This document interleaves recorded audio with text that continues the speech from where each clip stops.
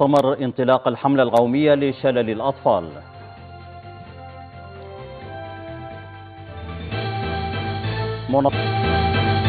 اكتمال كافة الترتيبات الفنية والإدارية لاستئناف عمل الاختصاصيين بالتأمين الصحي بالنيل الأبيض.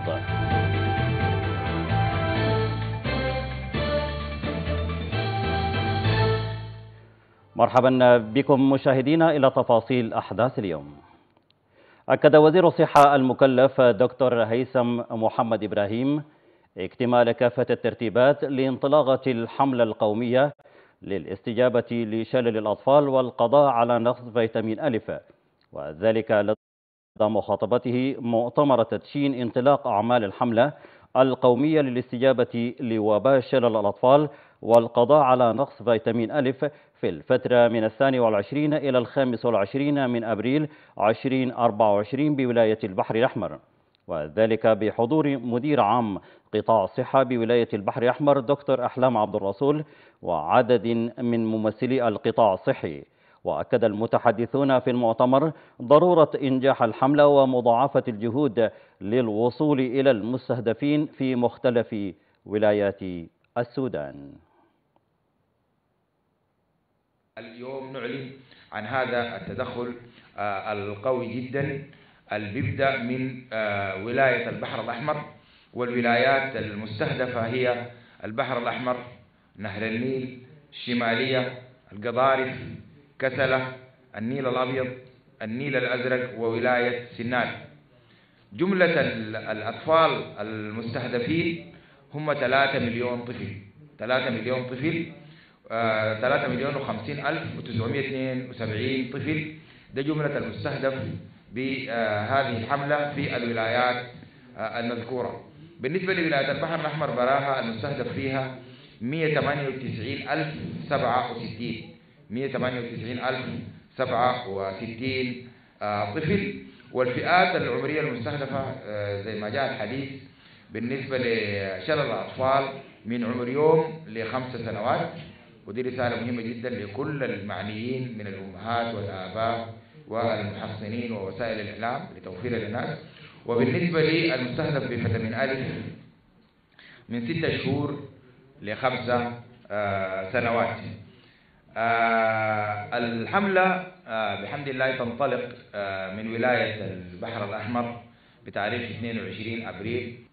أشعر بالسعادة أن أشارك نيابة عن منظمة العالمية في هذا الحدث الهام تمهيدا لإطلاق حملة تدعيم ضد شلل الأطفال في بحر الأحمر تليها سبع ولايات أخرى تهدف إلى منع المزيد من انتشار فيروس شلل الأطفال في السودان. نحن سعيدون اليوم بتدشين الحملة للقضاء على وباء شلل الأطفال. ظهرت بعض الحالات البيئية لفيروس شلل الأطفال عينات إيجابية على مستوى المسح ولم تظهر عينات حية غير عينة واحدة من ولاية كردفان. واستدعى هذا الأمر استجابة سريعة بتنفيذ حملة عاجلة للقضاء على هذا الفيروس ولحماية أطفالنا. على هامش مشاركته في الدورة الثالثة والثلاثين للمؤتمر الإقليمي للفاو لأفريقيا المنعقدة بالرباط.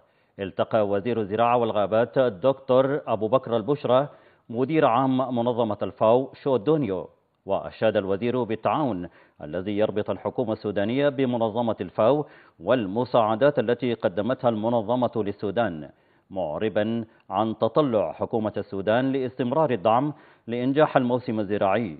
من جانبه أعلن مدير عام الفاو التزام المنظمة بتعزيز التعاون مع السودان وضمه للدول المستفيدة من التوجه الجديد للمنظمة.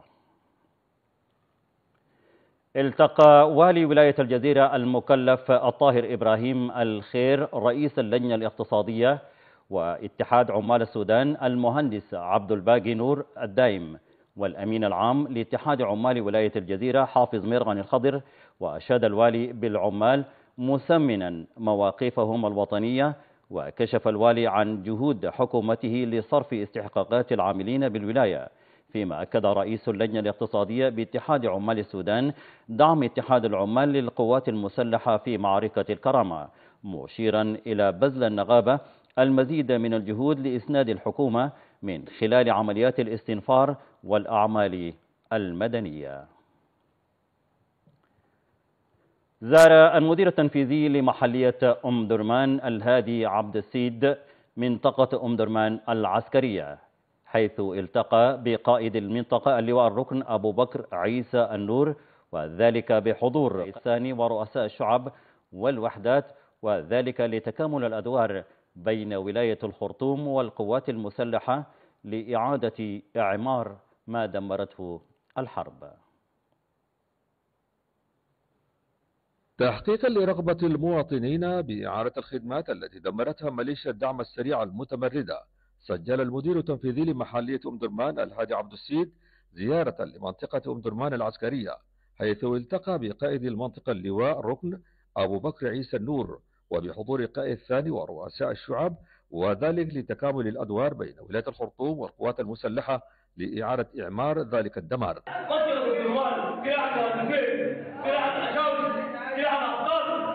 حيث قدم المدير التنفيذي لمحلية أم درمان شرحا للجهود التي تقوم بها ولاية الخرطوم بالتنسيق مع الجهاز ذات الاختصاص من رفع مخلفات الأسلحة والذخائر وإعادة المياه والكهرباء. وجدنا عدد كبير جدا من مواطنين درمان ما زالوا متمسكين بمنازلهم متمسكين بأملاكهم و رغم المعاناة ورغم الضنك ورغم الانتهاكات اللي حصلت في مناطق حقيقة شهدت يعني يمكن معارك وشهدت يعني اشتباكات عنيفة جدا زي ودنباوي وسط ودنباوي شمال. فالمناطق دي حاليا كثير جدا من الشباب الحمد لله طبعا نزلوا استلموا العمل قاموا بعمليات نظافة. عندنا مكافحة الألقاب نزلوا معانا اشتغلوا ثلاثة يوم. وتكاد تكون يمكن الثلاثة أحياء والنباوي شمال ووسط وجنوب هي خالية تماما من الألقاب والمفرقعات قيادة المنطقة العسكرية أم درمان أبدت استعدادها بالإسهام وفق إمكانياتها الهندسية من تحقيق رغبة المواطنين بالعودة الآمنة وذلك تحت شعار في الحرب تدمير وفي السلم تعمير. شهد مسجد عمر عبد السلام بحي المظاهر بأم درمان أداء صلاة الجمعة من قبل مواطني الحي وذلك بعد غياب دام لأكثر من عام بسبب احتلال ميليشيا الدقل الإرهابية للمسجد وتحويله إلى مقر عسكري للأسلحة والذخائر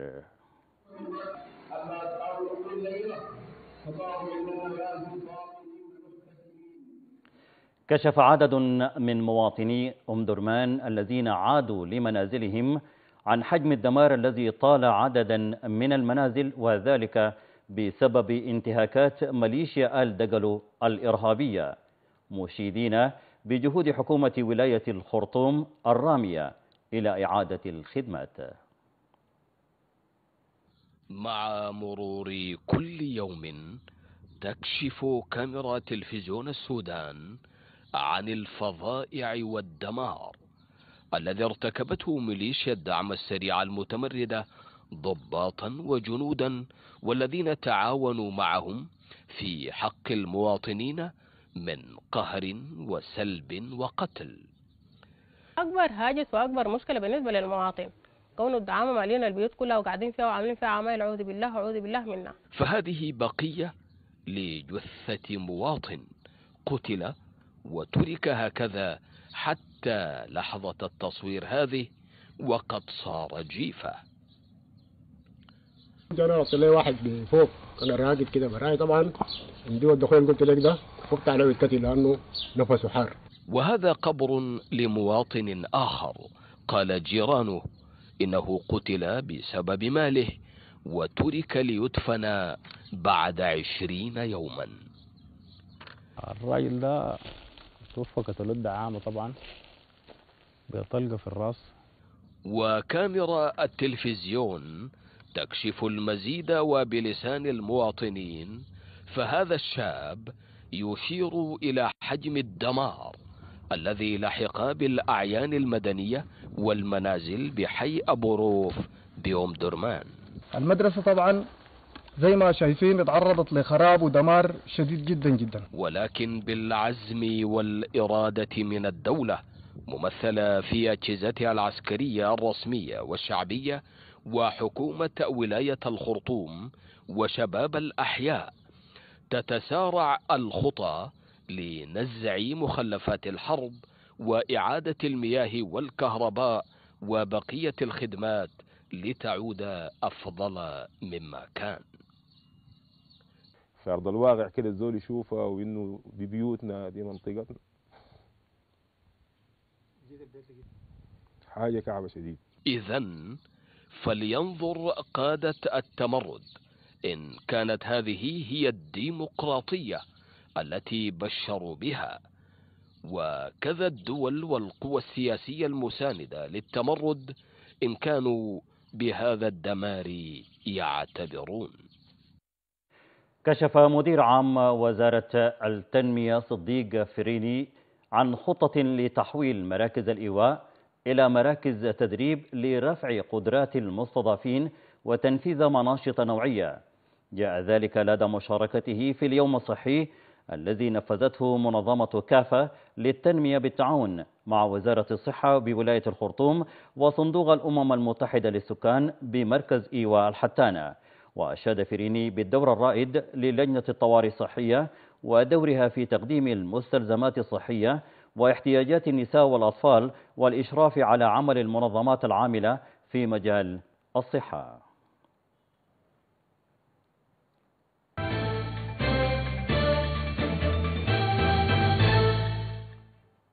عرض أحداث اليوم يتواصل معكم مشاهدينا من تلفزيون السودان. تفقد وكيل وزارة ديوان الحكم الاتحادي أبا زر الحافظ إدارتي التعليم الثانوي والابتدائي بمحلية كرري. يرافقه مدير عام وزارة التربية والتعليم بولاية الخرطوم الوزير المكلف دكتور قريب الله محمد أحمد. وأمين الحكم المحلي بالولاية إيهاب هاشم إسماعيل وعدد من المسؤولين بإدارة التعليم. وأشار المدير العام لوزارة التربية والتعليم إلى أن الهدف من الزيارة الوقوف على الاستعدادات لاستئناف الدراسة. بالولاية. في هذا الاجتماع تمكنا من توفير أكثر من 80% من المعلومات المهمة والمساعدة في استئناف العام الدراسي ومناقشة كل المعوقات التي تحول دون استئناف الدراسة بهذه الولاية.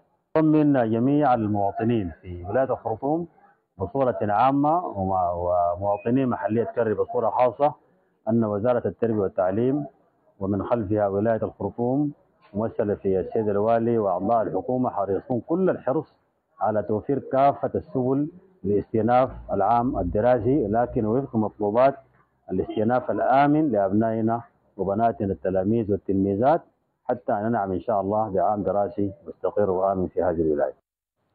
استعرض وكيل وزارة ديوان الحكم الاتحادي أبا زر الحافظ خلال اجتماعه مع المدير التنفيذي لمحلية أم بدة أبو القاسم آدم الطاهر.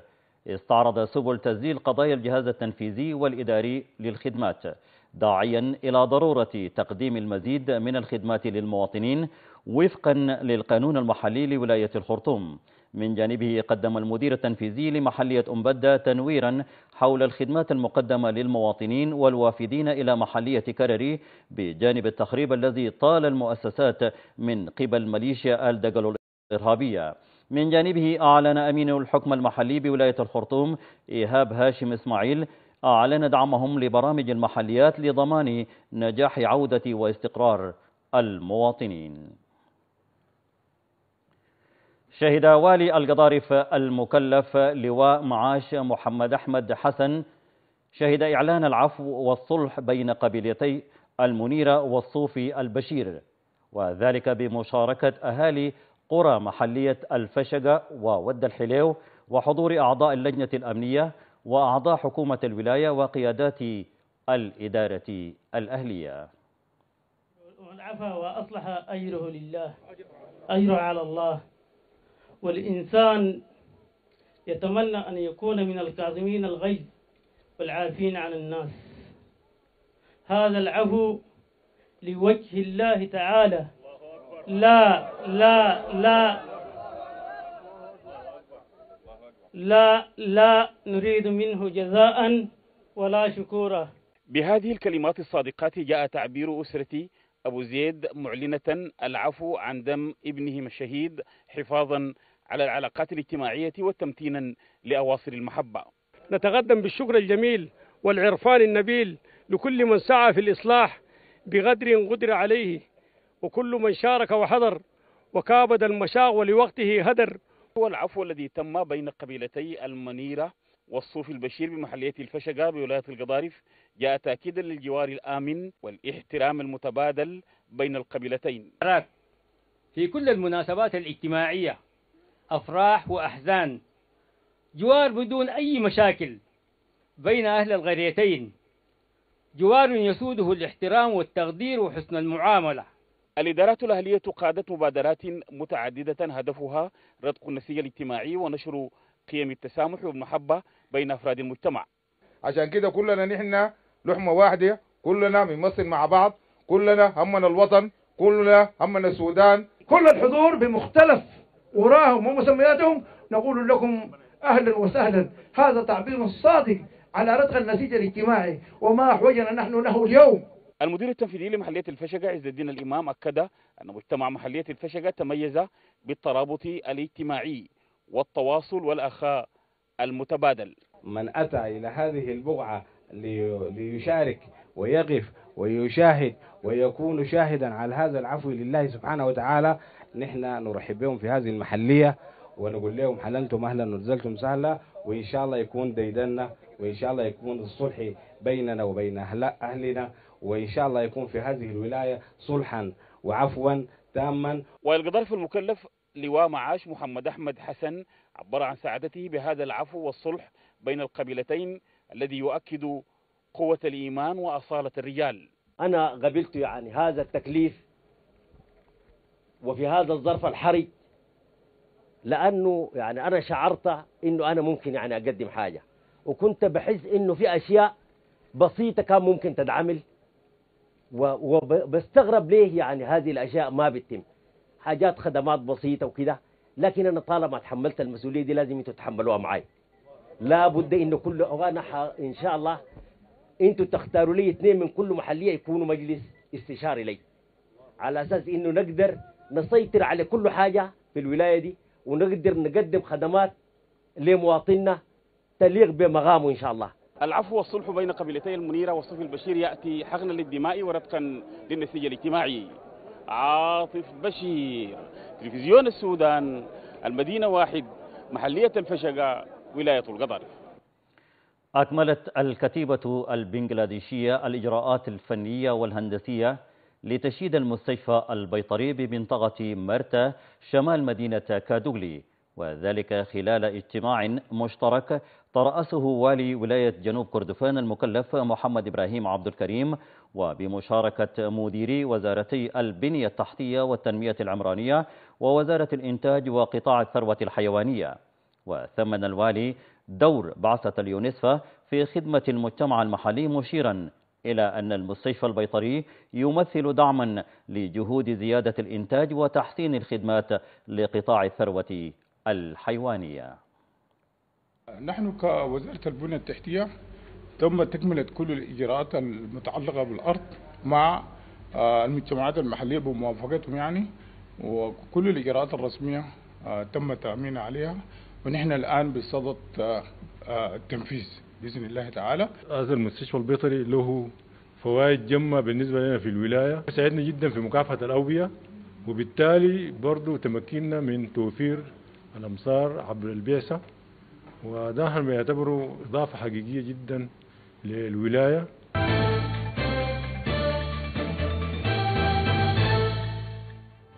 عرض أحداث اليوم يتواصل معكم مشاهدينا من تلفزيون السودان.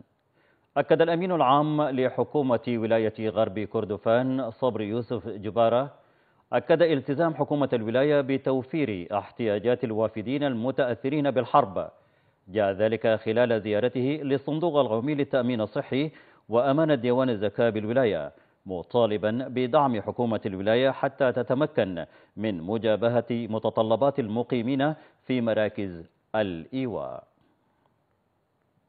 نريد أن نؤكد للناس أنه ولاية قرب كردفان وهذه المؤسسات التي زرناها هي مؤسسات ولاية قرب كردفان وهي فاتحة وهي موجودة وكل الموظفين والإدارات والعاملين متواجدين على مدار الدوام اليومي ويقدمون الخدمة الإنسانية ويقدمون كذلك العمل الإداري على مستوى على مستوى الوزارات سواء كان وزارة الخدمية أو الوزارات الإرادية أو المؤسسات الاتحادية.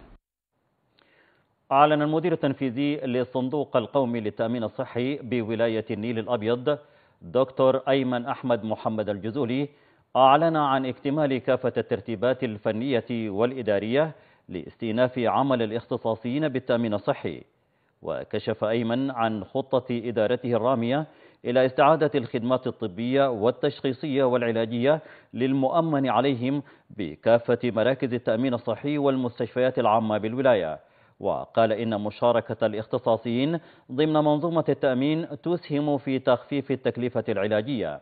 فيما رحب ممثل الاختصاصيين بالولاية دكتور عصام عبد الله رحب بإعادة خدمة الطبيب الاختصاصي مؤكدا التزام الاختصاصيين بتقديم خدمات طبية تنال رضا المشتركين بالتأمين الصحي.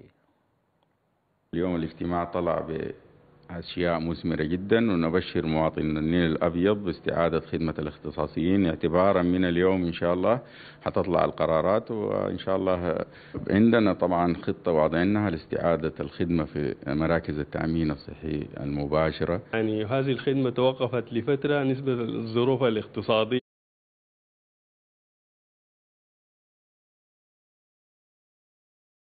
المعروفة والحمد لله الآن يعني تمت إعادة الخدمة والاتفاق.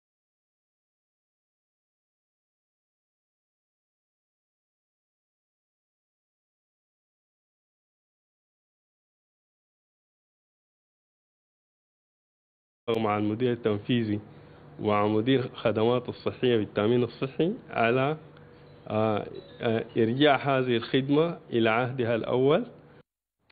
بحث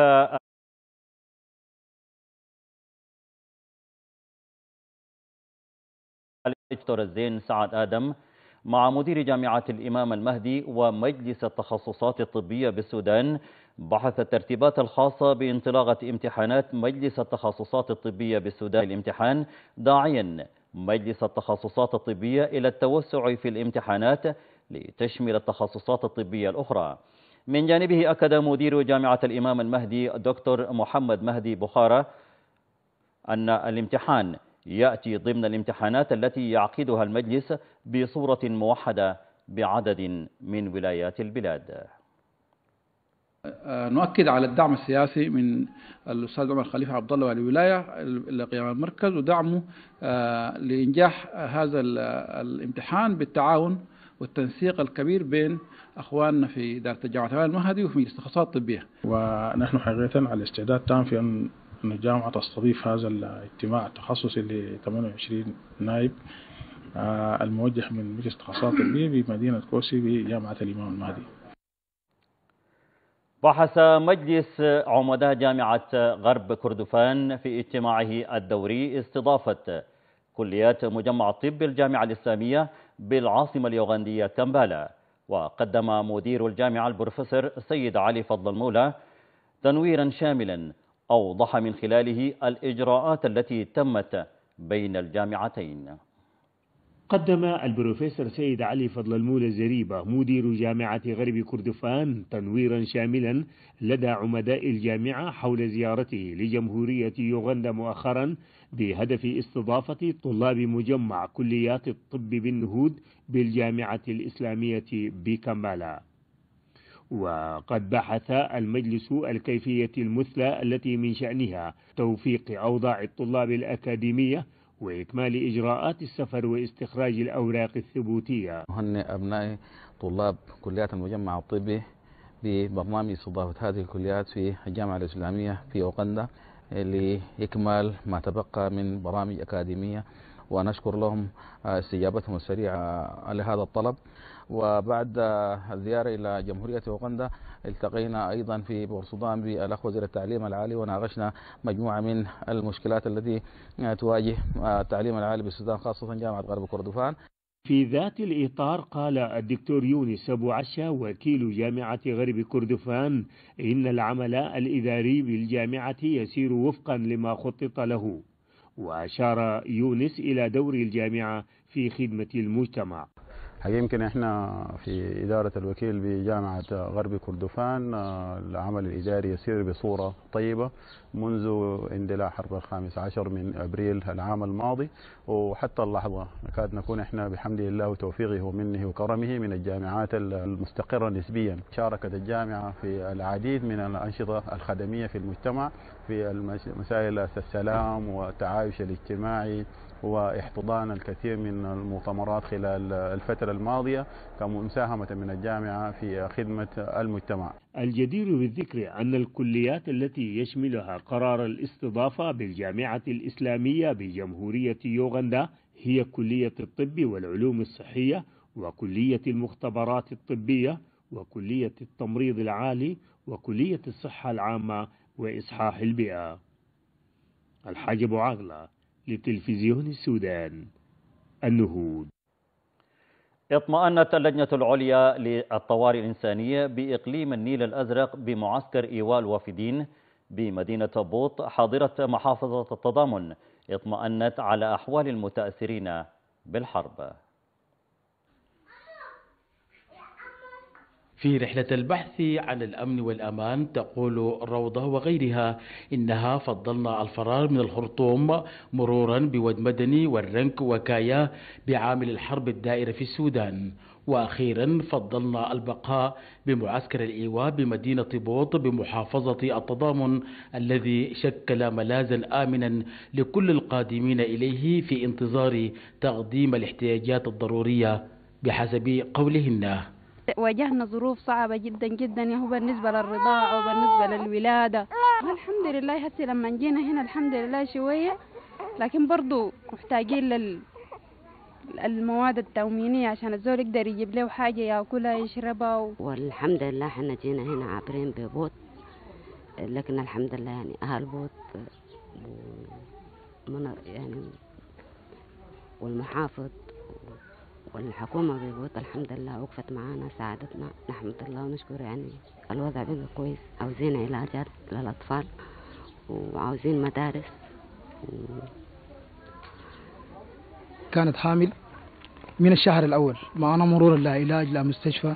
حتى عندما وصلت كايا لما جيت راجع بوطينا لرعاية هنا بدون ما أخذ الواحد كان قطع كراو. بيدوا بنادول ما في علاجات. وهناك بالمناسبة الأمور صعب شديد. لكن بصراحة لما وصلت بوط الشكر يرجع للمحافظ وللأخوة في بوط كلهم. السلطات بمحافظة التضامن أشارت إلى ما تم تقديمه للوافدين من ولاية الخرطوم مناشدة المنظمات العاملة في مجال العمل الإنساني بالتدخلات العاجلة لتخفيف حجم المعاناة على حد وصفها. عندي في محافظة التضامن كلها عندي 830 أسرة من النازحين بتاعنا خرطوم ومدني موزعين داخل محافظات التضامن. بوط برا فيها 170 والآن الشيء اللي إحنا قدمنا له ونحن قدمنا له حاجات بسيطة جدا. يعني حسب عملنا نفرة للمواطنين الموجودين هنا وكل الخيرين التجار والمزارعين تبرعوا ببعض الحاجات زي دقيق وسكر وزيت. ونحن برضو يعني كمحافظة يمكن نحن جبنا آه زي آه 120 شوال إيش. بنناشد المنظمات الإنسانية عشان تجي تقيف وتشوف الوضع ده. فيما تعهدت حكومة إقليم النيل الأزرق بتوفير كل ما هو مطلوب بمختلف الاحتياجات. أؤكد أنه خلال هذه الأيام سنسير بإذن الله قوافل لمحافظة التضامن لتقديم المعينات والخدمات الأساسية. أيضا نؤكد تقديم خدمات إنسانية بالتنسيق التام مع الطوارئ الإنسانية بوزارة الصحة. عشان عيون أطفالنا مضوق الهزيمة. يتطلب من السلطات توفير كل ما هو مطلوب لخلق واقع آمن ومستقر. عصام طه تلفزيون السودان من داخل معسكر الوافدين بمدينة بوط. مشاهدينا تكاملت موضوعات عرض أحداث اليوم لهذه الليلة. وقبل الختام نذكر بأبرز العناوين. وزير الصحة يشهد مؤتمر انطلاق الحملة القومية لشلل الأطفال.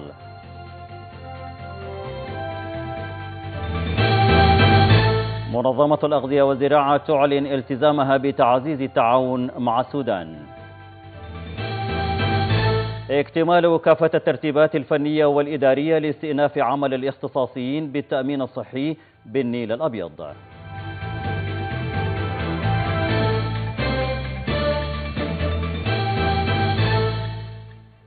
قدمنا لكم عرض أحداث اليوم لهذه الليلة من تلفزيون السودان. تحياتي لكم وتحايا الفريق العامل والسلام عليكم ورحمة الله.